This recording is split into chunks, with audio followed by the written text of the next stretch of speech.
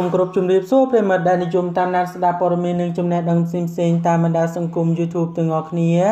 ថ្ងៃនេះ Channel ខ្ញុំបាទសូមជូនព័ត៌មានថ្មីមួយក្រោមចំណងជើងថាញាក់សាច់លោកអុកញ៉ាហ៊ុនជាបានជូនកាដូពិសេសទៅកាន់លោកសវណ្ណធី គឺជាវត្ថុស័ក្តិសិទ្ធិមួយយ៉ាងបាទតើវត្ថុអ្វីទៅដែលលោកអុកញ៉ាបាន ឲ្យទៅលោកសវត្ថធីដែលជាអគ្គនាយករបស់ TV SB បាទប្រិយមិត្តរបស់យើងលោកពិតជាបានស្គាល់ជាក់ជាមិនខាតទេ លោកអុកញ៉ាហ៊ុនជា គឺជាក្មួយប្រុសសម្ដេចតេជោនាយករដ្ឋមន្ត្រីនៃប្រជាណាចក្រកម្ពុជាហើយនៅពេលថ្មីថ្មីនេះដោយលោកអុកញ៉ាបានឃើញនៅ បាទទង្វើដ៏ល្អរបស់លោកសវត្ថធីដែលជាអ្នកសារព័ត៌មានមួយរូបបាទហើយគោរពដល់វិជ្ជាជីវៈលោកបានឲ្យវត្ថុស័ក្តិសិទ្ធិនេះនឹងទទួលទានអាហារជុំគ្នា បាទជាមួយនឹងក្រុមសារព័ត៌មាន TVSB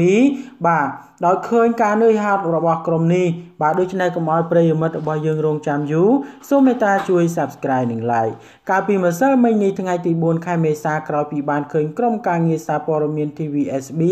ហាក់មានការហត់នឿយជាមួយនឹងការងារខ្លាំងនោះឯកឧត្តមហ៊ុនជាបានហៅពួកគាត់ទាំងអស់នោះមកពិសាអាហារពេលល្ងាចមួយពេល បង្កឲ្យមានបរិយាបាទបរិយាកាសហាក់មានភាពសប្បាយរីករាយនិងកាន់តែស្និទ្ធស្នាលថែមទៀតផង ដោយឡែកនៅក្នុងថ្ងៃនេះផងដែរឯកឧត្តមហ៊ុនជា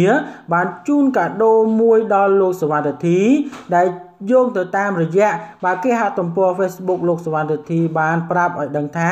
កាដូពិសេសនៅឆ្នាំ2019គឺហេងហេងហេងចូលហេងអរគុណបងប្រុសអុកញ៉ាបាទហ៊ុនជា សម្រាប់ការ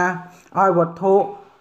បាទតាមថែរក្សាបាទវត្ថុស័ក្តិសិទ្ធិតាមថែរក្សា គឺជាវត្ថុមួយយ៉ាង បាទសម្រាប់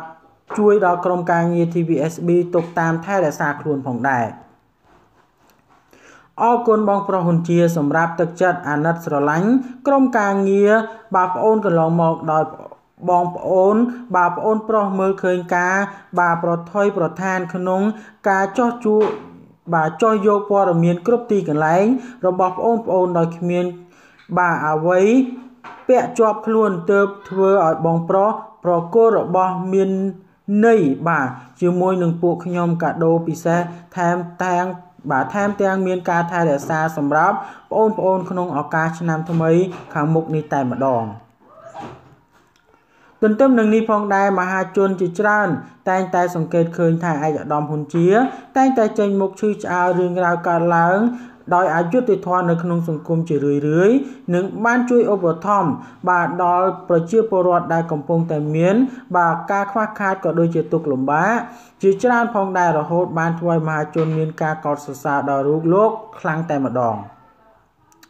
បាទដូច្នេះព័ត៌មាននេះមានប៉ុណ្ណឹងដើម្បីទទួលបាននូវព័ត៌មានថ្មីៗបន្ថែមទៀតសូម Subscribe និង Like ចំណែកខ្ញុំបាទសូមអរគុណនិងសូមគោរពលា